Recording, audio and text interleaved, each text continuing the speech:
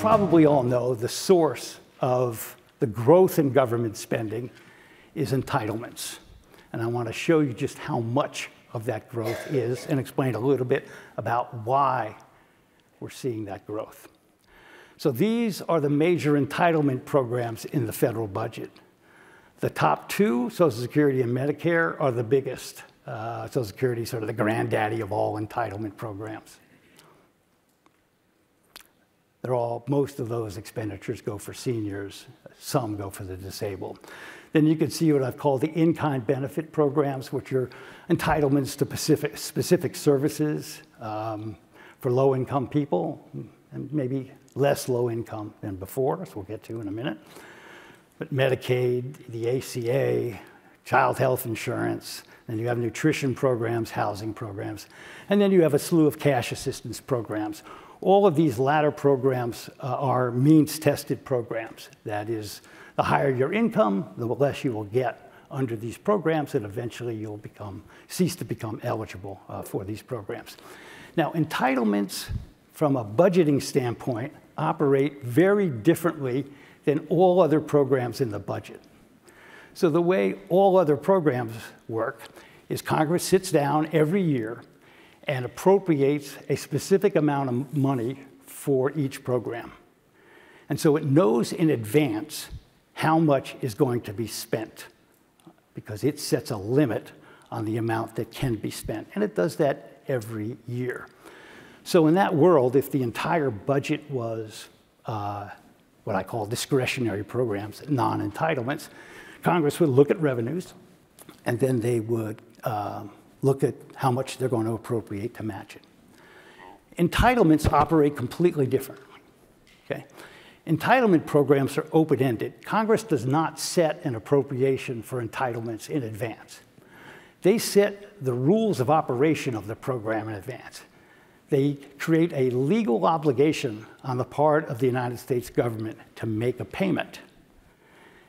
So it says if you reach age 66 for Social Security and you've worked for at least 10 years, you're eligible for a benefit of X. And so it sets the eligibility rules for the program and the benefit levels for the program. Expenditures in any year can be whatever the product of those two are. And so the determinants are outside of the appropriation process. They're driven by demographics, they're driven by economic conditions, they're not driven by budgeting. Mo most of these entitlement programs are permanently authorized or authorized for a minimum of four years at a time. And so the vast majority of these are on automatic pilot and they have no annual review process, and some never, never get reviewed. So you can see how a program like that can get quickly out of control. It's disconnected uh, for the most part uh, from, its, from its revenues. And so this may be the most interesting chart of, of all. It shows expenditures on four different categories of government spending from 1962 uh, to the present, and then the dotted lines show uh, the projection for the future it's all relative to GDP again. The blue line is entitlements. The green line is defense. The red line is all other programs in the budget. And then that final yellow line is net interest. So with this, and this is the whole budget broken into four categories.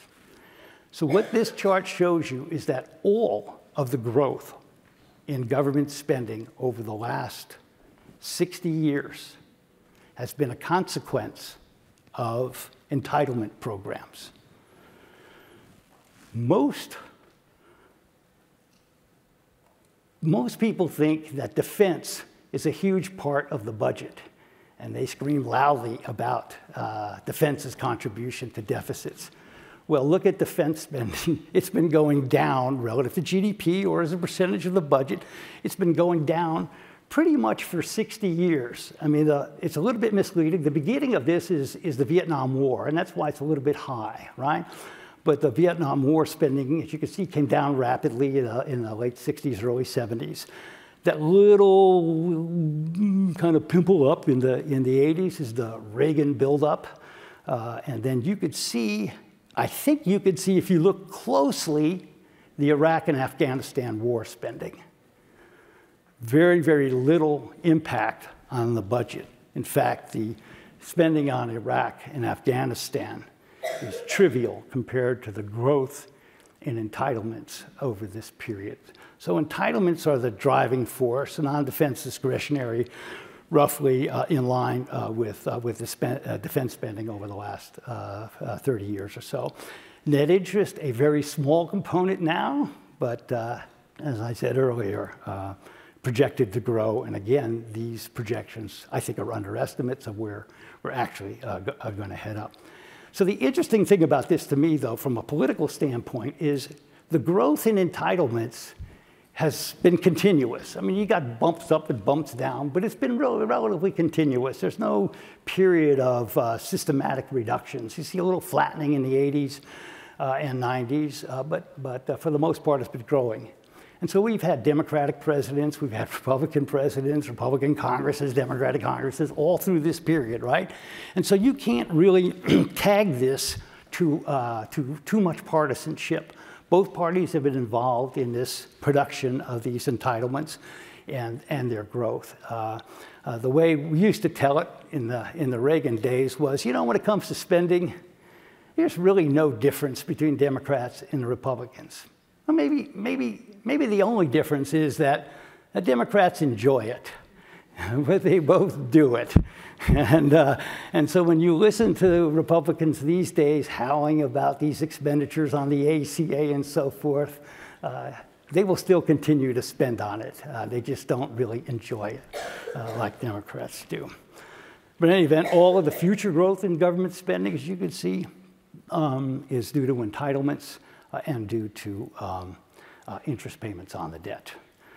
This is a quick chart I can show you. Just shows that um, Social Security and Medicare are the prime sources of the growth in government spending over the last uh, 60 years, uh, at least maybe the last 50 years since the mid 70s, uh, and they will uh, occupy the lion's share of government spending uh, increases over the next uh, 30, 30 years. So when you think about the future problem, uh, both of these charts combined together to show you, A, that it's entitlements, and then within entitlements, it's really these programs for senior citizens, Social Security uh, and, and Medicare. So let me spend a moment now on how to meet the challenge. Now, I focus all of my remarks on the cost of government spending and on the cost of these entitlements. I haven't talked at all about the benefits of these programs. And the reason for doing so is just I really want to emphasize to you that there is a cost that goes along with the benefit. The benefits of Social Security, Medicare, some of these means tested programs over the years have been enormous. They lifted millions of individuals out of poverty, prevented others from, from falling into poverty. And so the benefits are clear. Every developed country in the world has a social safety net. It's sort of a hallmark of a compassionate society, and the United States is no different in that regard. But we've got to balance these benefits against their costs. And I maintain that we've got an unbalanced system now. That the benefits of these programs are still there, but the costs have become very, very large. We haven't balanced the system right.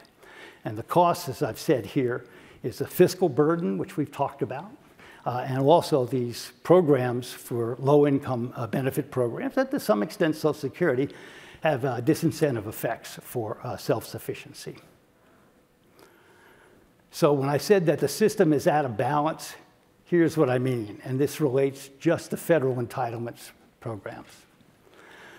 So in 2019, more than half of all US households are recipients of at least one federal entitlement program.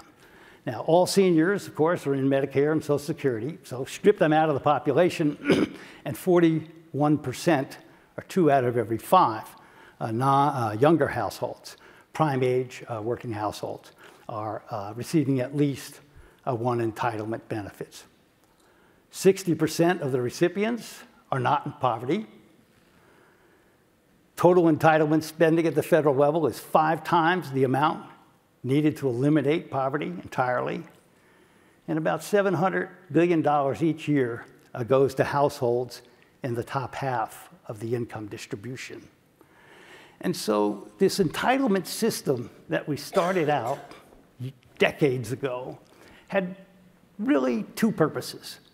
One, it was designed to provide a means of financial security for individuals in old age, to prevent poverty in old age.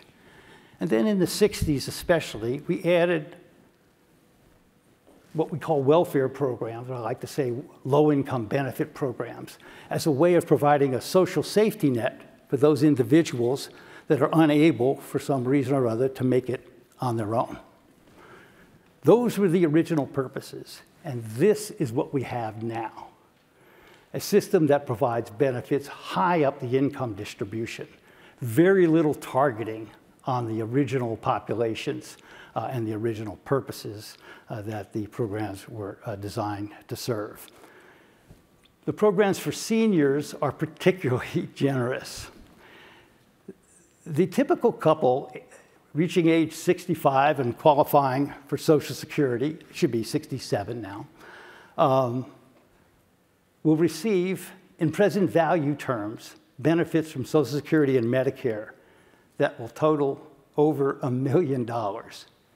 So, how should you think about that? That's when the typical, typical couple reaches Social Security's full retirement age, the government hands them a check for $1 million. That's the way you think about a present value. So it's an enormous sum of money. Child and daycare credits on the low income side uh, now go up to families with incomes up to 74,000 and the ACA now goes to families with incomes that are exceeding 200,000.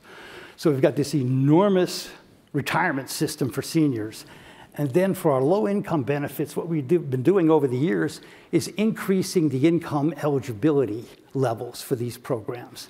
And that's how we end up with so much of the assistance going to individuals uh, that are not uh, living uh, in, in poverty. So, if we're going to meet the fiscal challenge, you have to confront the hard facts of life. Deficit spending is a way of life in Washington. In the last 60 years, the data that I've shown you here, we've only balanced the budget or run a surplus in four of those years, five of those years. And four of those five were in the late 1990s when we had an extraordinary economic bubble from the high tech uh, uh, takeoff. Um, spending was not constrained very much then, but the revenue take was so large that we got balanced budget despite Congress. In any event, it's a way of life. And so you, when you think about it, you've got to reverse a built-in behavior, behavior that's been built in over at least six decades. So it's, it's, a, it's not a small challenge. Second is, the deficit is far too large for any single Congress to eliminate. If you wanted to eliminate the deficit next year, you'd have to raise taxes by 40%, uh, or you'd have to cut spending by 33%. That's not going to happen. So, in some sense, the problem has become a little bit too large for a Congress. Now, if you had a Congress that was forward looking, were able to look out 10 years and put together a plan that they could adhere to for 10 years, you might have a, you might have a way of getting at, at a fix. But most members of Congress are not thinking past their next election. They tend to be uh, very, very um, uh, uh, focused on, on the near term, and that makes it even more difficult to solve a problem uh, like this. Uh, if one is going to take on uh, the deficit through spending, you're going to have to hit the most sensitive programs in the budget entitlements for low income individuals and entitlements for seniors. if you want to um, solve the budget problem with tax increases, uh, you've got to hit the middle class. You know, uh, the deficit is so large that if you taxed away 100% of the income of the top 1% of the US population, you still have a deficit afterwards. That you could take all of the income of the top 1% of the US population and you still wouldn't balance the budget. And so any increase in taxes to solve the problem has to be achieved uh, uh, through a large tax on the middle class. Very tough. But the keys to meeting the challenge, you've got to have economic growth. Uh, economic growth is essential. The only times we've come close to reducing the deficit significantly or balancing the budget is during strong periods of economic growth. As I've said, you've got to limit the most sensitive programs in the budget. You've got to limit the growth in Social Security, Medicare, Medicaid. You've got to cap eligibility for means tested programs. Uh, maybe at twice the poverty line would do it, I've calculated, but you go further. And then you have to avoid uh, armed conflicts. And you've got to avoid armed conflicts without expanding uh, the, the defense uh, budget too much. That is an extraordinary challenge for the diplomatic corps of the United States. So, major takeaways. We are on an unsustainable fiscal path. Entitlement spending is the problem. The way you should think about this is higher taxes and debt are merely the means of financing the problem. Fiscal policy should focus on restraining these entitlements, uh, and uh, the way we should think about doing that, in some broad sense, is just returning these programs uh, to their original purpose of providing a measure of economic security for individuals in old age and a safety net uh, for individuals who are unable uh, to provide for themselves. So I'll stop there and I'll be happy to take any questions uh, that, that you might have.